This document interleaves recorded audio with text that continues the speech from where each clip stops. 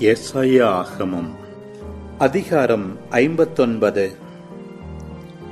மீட்க இயலாதவாறு ஆண்டவரின் கை குறுகிவிடவில்லை. கேட்க முடியாதவாறு ஆண்டவரின் காது மந்தமாகிவிடவில்லை. உங்கள் தீச்செயல்களே உங்களுக்கும் உங்கள் கடவுளுக்கும் இடையே பிளவை உண்டாக்கியுள்ளன. உங்கள் பாவங்களே அவர் செவிசாய்க்காதவாறு அவரது முகத்தை உங்களுக்கு மறைத்துள்ளன.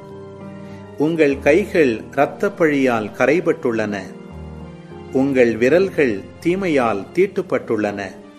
உங்கள் உதடுகள் பொய்களை உதிர்க்கின்றன. உங்கள் நாக்கு தீயவற்றை முணுமுணுக்கின்றது. நீதியான வழக்கை கொண்டு வருபவர் எவரும் இல்லை. உண்மையுடன் வழக்காடுபவர் யாரும் இல்லை. வெறுமையான வாதங்கள் மீது நம்பிக்கை வைத்து பொய்யை பேசி வஞ்சனையை கருத்தரித்து தீமையை பெற்றெடுக்கின்றனர். நச்சுப்பாம்பின் முட்டைகளை அடைகாக்கிறார்கள். சிலந்தி பூச்சியின் வலையை பெண்ணுகிறார்கள். அவற்றின் முட்டைகளை விழுங்குபவர் சாவார். உடைபடும் முட்டையிலிருந்து கட்டுவிரியன் வெளிவரும் அவற்றின் வலைகள் உடையாக பயன்படா. அவற்றின் வேலைப்பாடுகளை கொண்டு எவரும் தம்மை போர்த்து கொள்ள மாட்டார். அவர்களின் செயல்கள் தீயன. அவர்களின் கையில் இருப்பன வன்முறை செயல்களே. தீமை செய்ய அவர்கள் கால்கள் விரைகின்றன. குற்றமற்ற ரத்தம் சிந்த அவர்கள் துடிக்கின்றனர். அவர்கள் எண்ணங்கள் தீயவை. பாழாக்குதலும் அழிவுமே அவர்கள் வழித்தடங்களில் உள்ளன. அமைதி வழியை அவர்கள் அறியார். நீதியின் பாதையில் அவர்கள் நடக்கவில்லை. தாங்கள் செல்லும் பாதைகளை கோணலாக்கினர். அவற்றில் நடப்பவர் எவரும் அமைதியை அறியார்.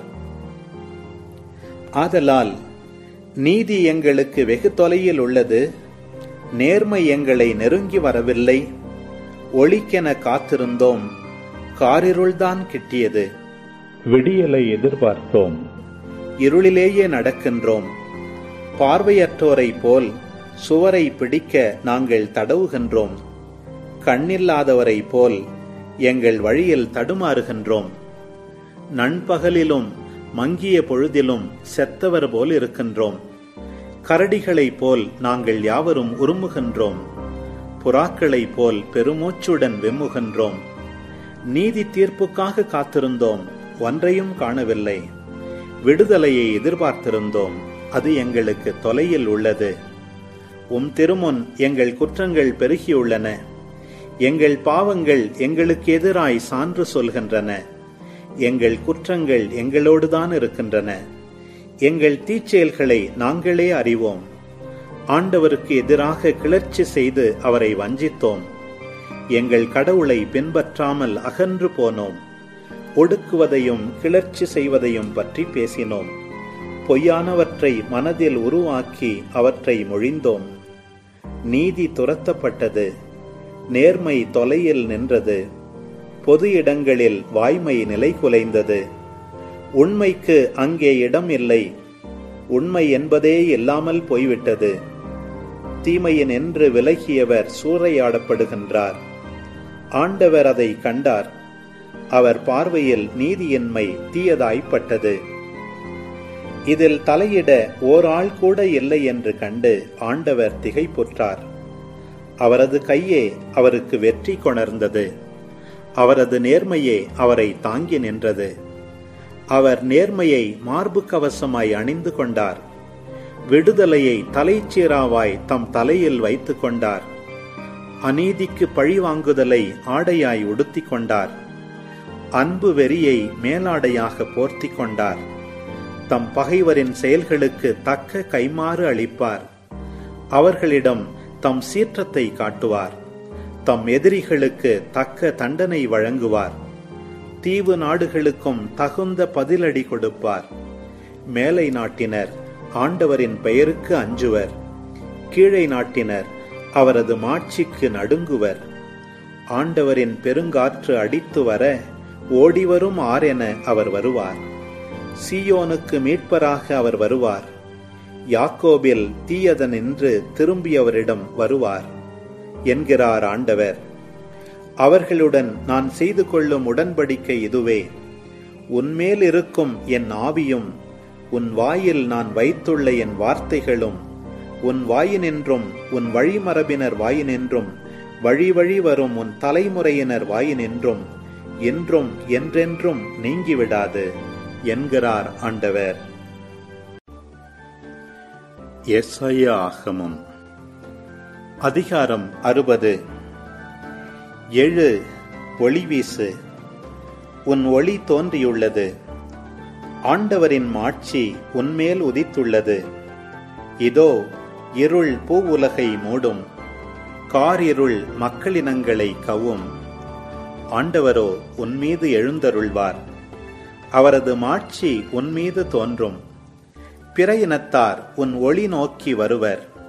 மன்னர் உன் உதய கதிர் நோக்கி நடைபோடுவர். உன் கண்களை உயர்த்தி உன்னை சுற்றிலும் பார். அவர்கள் அனைவரும் ஒருங்கே திரண்டு உன்னிடம் வருகின்றனர். தொலையிலிருந்து உன் புதல்வர் வருவர். உன் புதல்வியர் தோளில் தூக்கி வரப்படுவர்.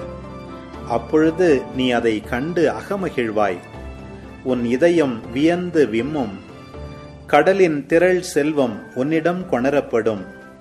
பிற இனத்தாரின் சொத்துகள் உன்னை வந்தடையும். ஒட்டகங்களின் பெருந்திரள் உன்னை நிரப்பும். மிதியான் ஏப்பாகு ஆகியவற்றின் இளம் ஒட்டகங்களும் வந்து சேரும். சேபா நாட்டினர் யாவரும் பொன் நறுமணப் பொருள் ஏந்தி வருவர். அவர்கள் ஆண்டவரின் புகழை எடுத்துரைப்பர்.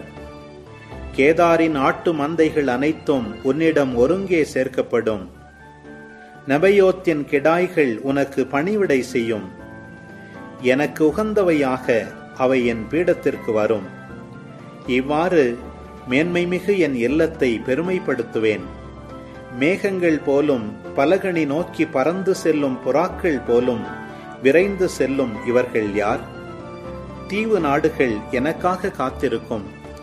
இஸ்ராயேலின் தூயவரும் உன் கடவுளுமான ஆண்டவரின் பெயரை முன்னிட்டு உன் பிள்ளைகளை தொலையிலிருந்து ஏற்றி வரவும் வெள்ளியையும் பொன்னையும் அவர்களுடன் எடுத்து வரவும் தர்சீசின் வணிக கப்பல்கள் முன்னணியில் நிற்கும். ஏனெனில் இஸ்ராயேலின் தூயவர் உனக்கு மேன்மை அளித்துள்ளார். அந்நிய நாட்டவர் உன் மதிர்ச்சுவரை கட்டி எழுப்புவர். அவர்களின் மன்னர் உனக்கு பணிவிடை செய்வர். ஏனெனில் சினமுற்று நான் உன்னை நொறுக்கினேன். நான் கனிவுற்று உனக்கு இரக்கம் காட்டியுள்ளேன். உன் வாயில்கள் எப்போதும் திறந்திருக்கும். ராப்பகலாய் அவை பூட்டப்படாதிருக்கும். பிற இனத்தாரின் செல்வம் உன்னிடம் கொண்டு வரப்படும் அவர்களின் மன்னர் ஊர்வலமாய் அழைத்து வரப்படவும் அவை திறந்திருக்கும். உனக்கு பணிபுரியாத வேற்று நாடோ அரசோ அழிந்துவிடும். அவை முற்றிலும் பாழடைந்து போகும். லெபனோனின் மேன்மை உன்னை வந்து சேரும். என் திருத்தூயகத்தை சுற்றியுள்ள இடத்தை அழகுபடுத்த தேவதாறு புன்னை ஊசியிலை மரம் ஆகியவை கொண்டு வரப்படும் என் பாதங்களை தாங்கும் தலத்தை மேன்மைப்படுத்துவேன். உன்னை ஒடுக்கியவரின் புதல்வர் உன்னிடம் தலைவணங்கி வருவர். உன்னை அவமதித்தவர் அனைவரும் உன் காலடியில் பணிந்து வீழ்வர். ஆண்டவரின் நகர் என்றும் இஸ்ரேலின் தூயவரது சீயோன் என்றும் உன்னை அவர்கள் அழைப்பர். நீ கை நெகிழப்பட்டு வெறுத்து ஒதுக்கப்பட்டாய். உன் வழியே எவரும் பயணம் செய்யவில்லை. நானோ உன்னை என்றென்றும் பெருமைப்படுத்துவேன். தலைமுறை தோறும் மகிழ்ச்சிக்கு உரியவனாக்குவேன். நீ பிற இனத்தாரின் பாலை பருகுவாய். மன்னர்களின் மார்பிலிருந்து பாலை உறிஞ்சுவாய். ஆண்டவராகிய நானே உனக்கு விடுதலை அளிப்பவர் என்றும் யாக்கோபின் வல்லவரே உன்னை மீட்பவர் என்றும் நீ அறிந்து கொள்வாய். வெண்கலத்திற்கு பதிலாய் பொன்னையும் இரும்பிற்கு பதிலாய் வெள்ளியையும் மரத்திற்கு பதிலாய் வெண்கலத்தையும் கற்களுக்கு பதிலாய் இரும்பையும் கொண்டு வருவேன். உங்கள் கண்காணியாய் சமாதானத்தையும் உங்களை வேலை வாங்குமாறு நேர்மையையும் நியமிப்பேன். உன் நாட்டில் வன்முறை பற்றியும் உன் எல்லை பகுதிகளுக்குள் பாழாக்கலும் அழித்தலும் பற்றியும் இனி எந்த பேச்சும் எழாது. உன் மதில்களை விடுதலை என்றும் உன் வாயில்களை புகழ்ச்சி என்றும் அழைப்பாய். கதிரவன் உனக்கு இனி பகலில் ஒளி தர வேண்டாம். பால் நிலவும் உனக்கு ஒளி வீச வேண்டாம். ஆண்டவரே இனி உனக்கு முடிவில்லா பேரொளி. உன் கடவுளே இனி உனக்கு மேன்மை. உன் கதிரவன் ஒருபோதும் மறையான். உன் நிலா இனி தேய்ந்து போகாள். ஆண்டவரே உனக்கு என்றுமுள ஒளியாக இருப்பார். உன் கண்ணீரின் நாள்கள் ஒழிந்து போம். உன் மக்கள் அனைவரும் நேர்மையாளராயிருப்பர். அவர்கள் நாட்டை என்றென்றும் உரிமையாக்கிக் கொள்வர். நான் மாட்சி அடையுமாறு நட்டு வைத்த மரக்கிளை அவர்கள். என் கைவேலை பாடும் அவர்களே. அவர்களுள் சிறியவர் ஓராயிரமாய் பெருகுவர். அற்பரும் ஆற்றல் மிகு மக்களினமாவர். நானே ஆண்டவர். ஏற்ற காலத்தில் இதை நான் விரைவாய் செய்து முடிப்பேன். எசேக்கியல் ஆகமம். அதிகாரம் பத்தொன்பது. நீயோ இஸ்ராயேலின் தலைவர்களை பற்றி புலம்பல் பாடி சொல். சிங்கங்களின் நடுவில் எப்படிப்பட்ட பெண் சிங்கமாய் திகழ்ந்தவள் உன் தாய்? இளஞ்சிங்கங்களிடையே இருந்து அவள் தன் குட்டிகளை வளர்த்தாள். அவள் வளர்த்த குட்டிகளுள் ஒன்று இளஞ்சிங்கமாக வளர்ச்சியுற்றது. அது இறை தேட பழகி மனிதரை தின்னலாயிற்று. வேற்றினத்தார் அதனை பற்றி கேள்வியுற்று அதனை படுகொழியில் வீழ்த்தினர். அதனை சங்கிலிகளால் கட்டி எகிப்துக்கு கொண்டு போயினர். தாய் சிங்கமோ தான் நம்பிக்கையோடு காத்திருந்தது வீணாயிற்று என்று கண்டாள். எனவே தன் குட்டிகளுள் வேறொன்றை எடுத்து அதனையும் ஓர் இளஞ்சிங்கமாக உருவாக்கினாள். அது சிங்கங்களோடு நடமாடி ஓர் இளஞ்சிங்கமாயிற்று. அது இறை தேட பழகி மனிதரை தின்னலாயிற்று. அது கோட்டைகளை தாக்கி நகர்களை சூறையாடிற்று. அதன் கர்ச்சிக்கும் ஒலி கேட்டபோதெல்லாம் நாடும் அதிலுள்ள யாவும் திகிலுற்றன. அண்டை நாடுகளிலிருந்து வேற்றினத்தார் அதற்கெதிராக எப்பக்கமும் எழுந்தனர். தங்கள் வலையை அதன் மீது வீச அது அவர்கள் குழியில் விழுந்தது. அவர்கள் அதனை சங்கிலிகளால் கட்டி கூண்டில் அடைத்து பாபிலோனின் மன்னனிடம் கொண்டு வந்தனர். இனியும் அதன் கர்ச்சனை இஸ்ராயேல் மலைகளின் மீது ஒலிக்காதபடி அரண்களுக்குள் அதனை அடைத்து வைத்தனர். திராட்சை தோட்டத்தில் நீர் அருகே நடப்பட்ட திராட்சை கொடி போல் இருந்தாள் உன் தாய். மிகுந்த நீர்வளத்தின் காரணத்தால் அது கிளைகளும் கனிகளுமாக தழைத்திருந்தது. அரச செங்கோலுக்கேற்ற உறுதியான கிளைகள் அதற்கிருந்தன. அடர்ந்த கிளைகள் நடுவே அது உயர்ந்தோங்கிற்று. திரளான கிளைகளோடு அது உயர்ந்து தென்பட்டது. ஆனால் அது சினத்தோடு பிடுங்கப்பட்டு தரையிலே எரியப்பட்டது. கீழே காற்றினால் அது காய்ந்து போனது. அதன் கனி உதிர்ந்து போயிற்று.